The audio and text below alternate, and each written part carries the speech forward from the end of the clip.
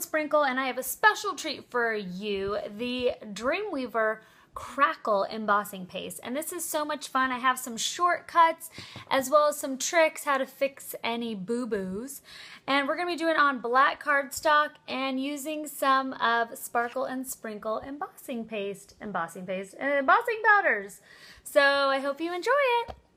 Okay, so to get started, I am going to take my large feather stencil here. I know I've used this on other videos, and but I just don't have a lot of large open space stencils, so I'm going to use it again. Um, so you can do this two ways. If you're a little bit more OCD, you can tape this all down. I will make a terrible house painter because I am not good with all the prep work. I like quick and simple. So I'm going to take my Crackle Embossing Paste by Dreamweavers and I'm going to get a good amount on my little palette knife here. And this is a plastic one. I have a metal one too that I use sometimes if I haven't cleaned my plastic one quick enough. And I am just going to go ahead and hold it down with my fingers, especially a stencil like this.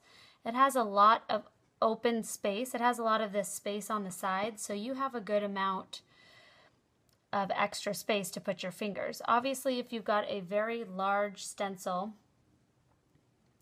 you um, it's probably best if you tape it down.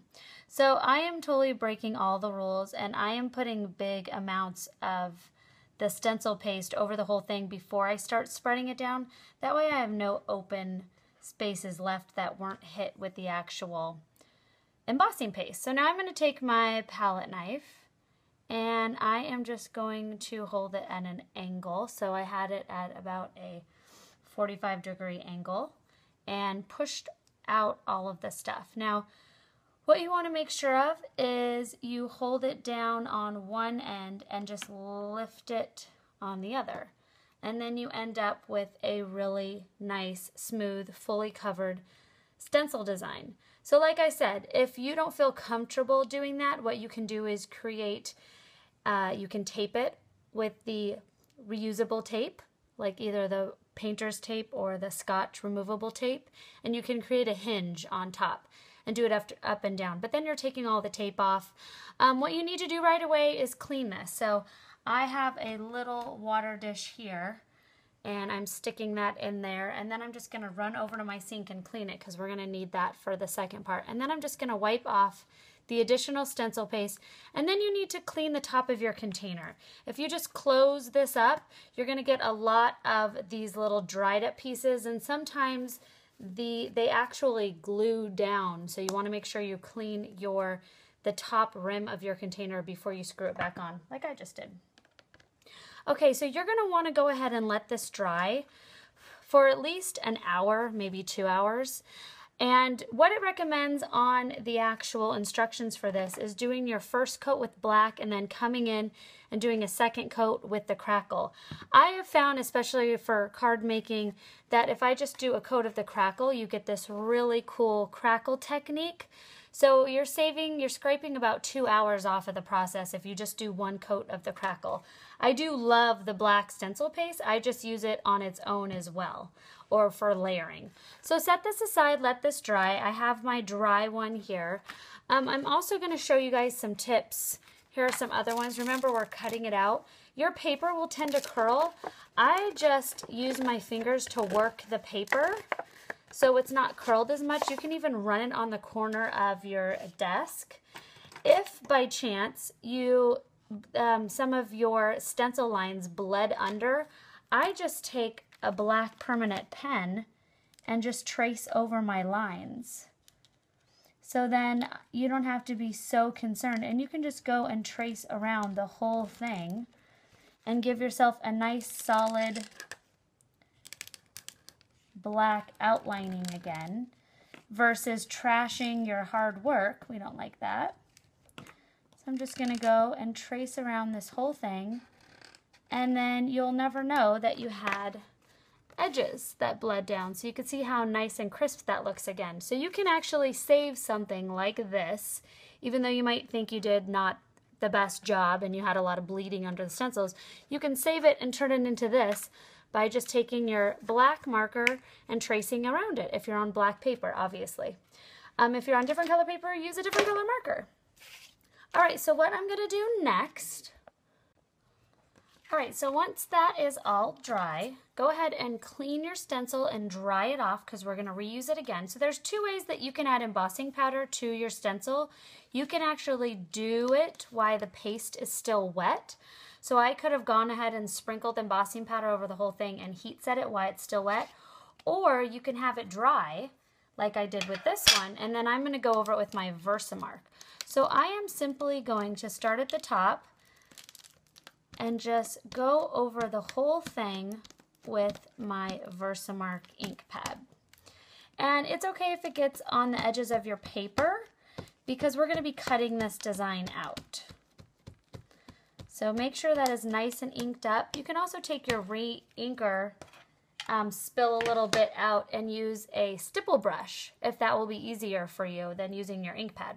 So there's two ways to ink that up with your Versamark. Now what I'm going to do is start with my silver embossing powder. And I'm just going to go along my edges here. Take my coffee filter. So we've inked it with our Versamark. Now I'm going to take my silver embossing powder. And I think this is detail silver just because I had that available. And I'm just kind of going around the edges which is going to create that. All right, so once you've got your silver embossing powder along the tips, instead of letting it slide down, I'm going to flip it. So I did a nice little flip. And once again, don't worry about embossing powder all around the edge because we're going to be fussy cutting this out. And then I'm going to take my lime green and I hit this guy with the lime green embossing powder. And then I did the larger one with the lime green.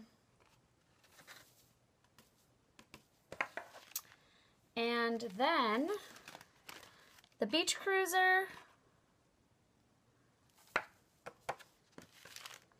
And last but not least, the Raspberry Tart embossing powder. So like I said, you can pour your embossing powder on while it is still wet, or you could do this technique when it's still dry. And I'll show you some samples when it's all dry. So I'll show you some samples of actually what it looks like when you do this to the wet stencil paste. All right, so now I'm just gonna go ahead and heat set.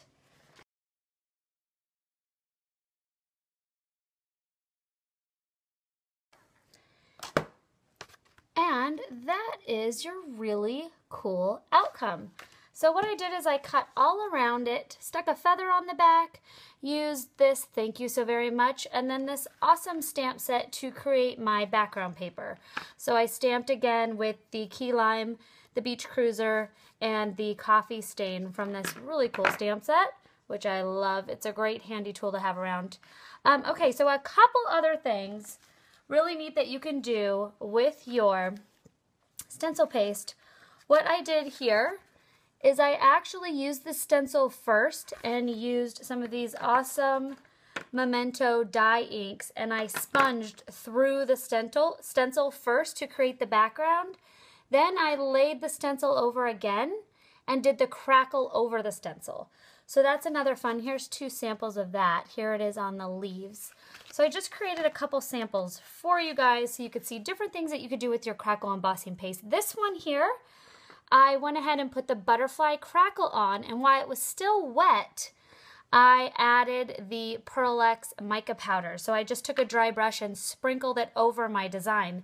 And it created this beautiful shimmer. I don't know how well you can see that, but it is just gorgeous.